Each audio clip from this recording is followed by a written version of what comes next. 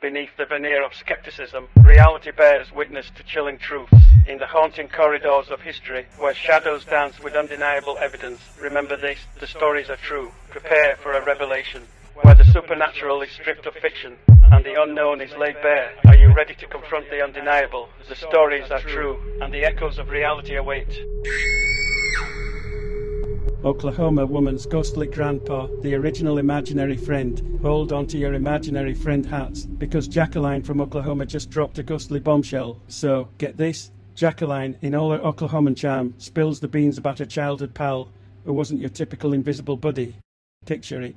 Granny, Junie, and Pa Hank's cosy little abode, with a backyard that could rival the serenity of a spa day. Jacqueline, with a twinkle in her eye, reminisces about the good old days visiting her grandparents as a kiddo. Now, Here's where it gets wild. She's chatting on the Monsters Among Us podcast, sharing the lowdown on her Pa Hank. This dude wasn't your average grandpa.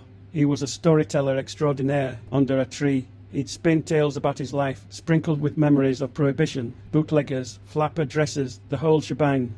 Here's the catch. Pa Hank checked out of the earthly realm in 1981, but Jacqueline, born fashionably late in 1982. Yeah, the math doesn't quite add up. The hold on to your ectoplasm, folks. Jacqueline, in her blissful ignorance, never realized she was getting ghostly tales from the beyond. And get this, her family was in on the spectral secret source. Granny Junie wouldn't spend the night in the house on the anniversary of Pa Hank's departure. That's commitment to ghost avoidance.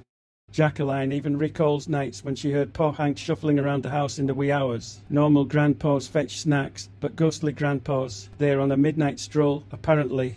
In a twist of cosmic irony, Jacqueline discovers that her childhood imaginary friend was, in fact, a dear departed grandfather. But hey, it's not like talking to some random ghost, it's a family affair. Forget Casper, say hello to Pa Hank, the friendly ghost grandpa. Talk about family bonding, even beyond the grave. Thanks for joining us on this eerie adventure. If you enjoyed the chills, don't forget to subscribe. More mysteries await. Until next time, thanks for watching and stay curious.